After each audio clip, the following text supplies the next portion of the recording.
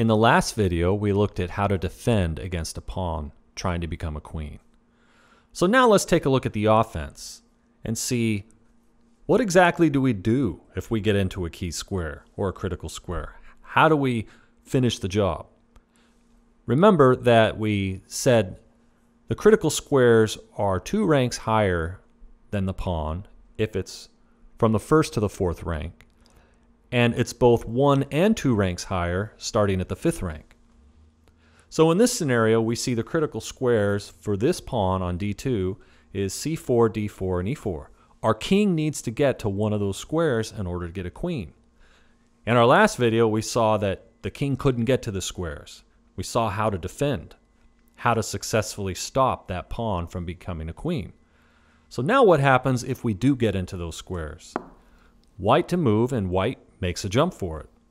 And black is going to make his best try but white gets in the critical square.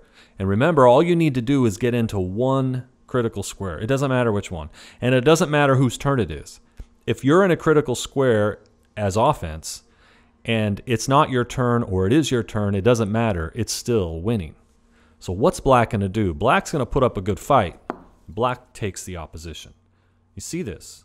Black is now opposing the white king. White can no longer advance. And white definitely doesn't want to retreat. So maybe white sidesteps right here. And black does the same thing, takes the opposition again. So what do you do if you're white? How do you get that pawn to the queening square?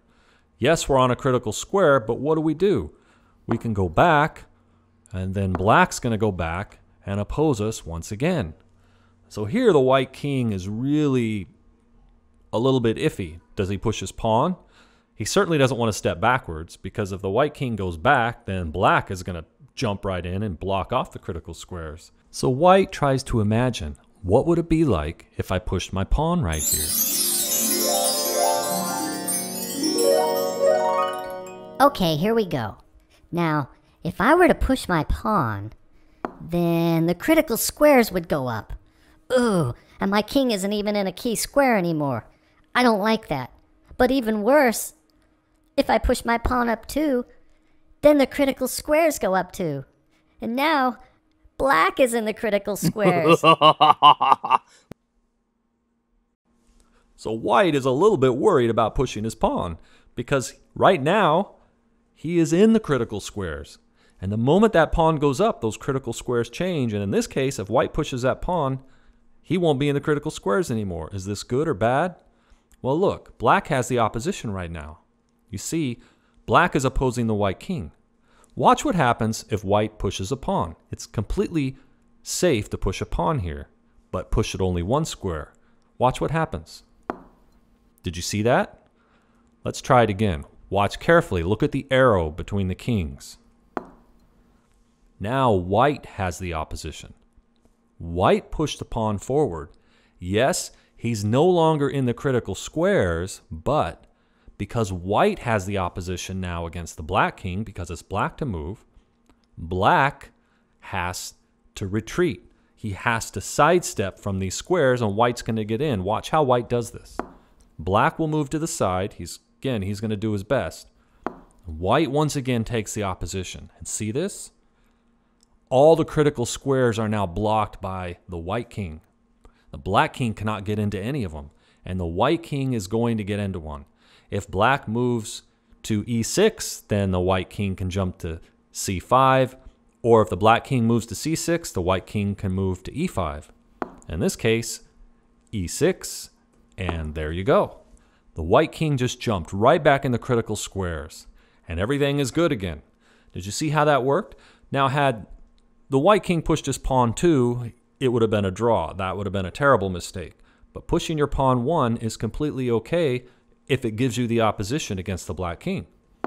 So here black is going to go back along the queening square just like he should.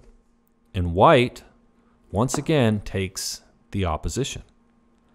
White opposes the black king.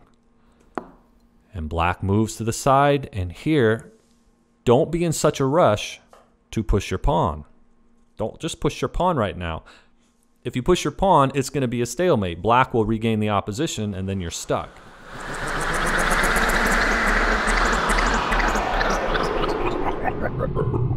In this variation, what will happen if white pushes his pawn to d4 instead of the better move, moving his king to c6?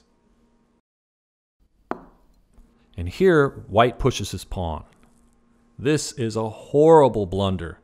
He just threw the game away. Wait, wait, I didn't mean it. I take that move back. I take that move back. Ah!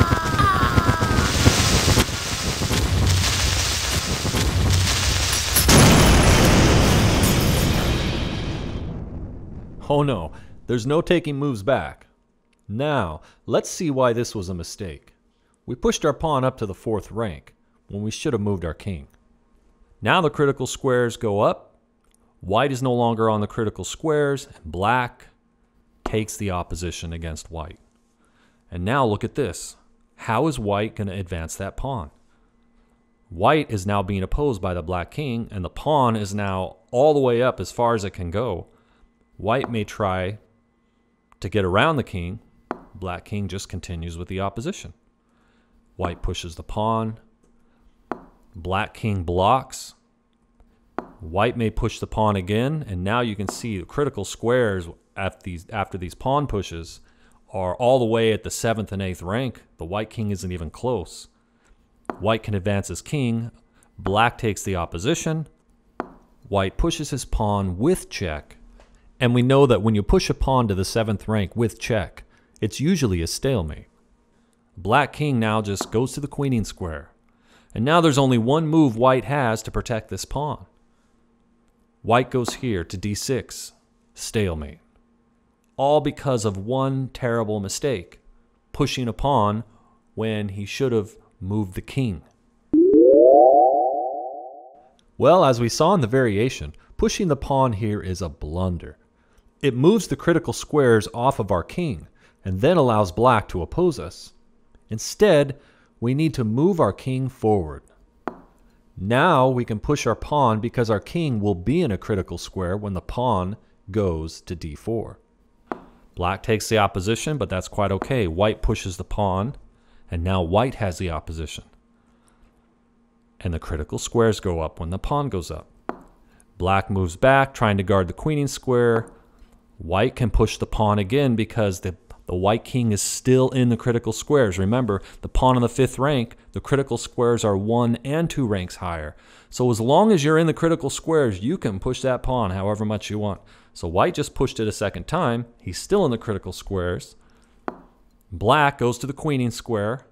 And here, very important move, white takes the opposition. Not pushing the pawn, opposing the black king, forcing the black king out of the queening square. Black king leaves the queening square, and now white guards the queening square with his king. And you can see what's going to happen. The pawn has a free path all the way to becoming a queen, and white wins the game. Can you see how important it is to know critical squares? I recommend that you memorize them, just like you would memorize the rules of chess. If you commit to memory the key squares for promoting a pawn, I promise you will be a better player.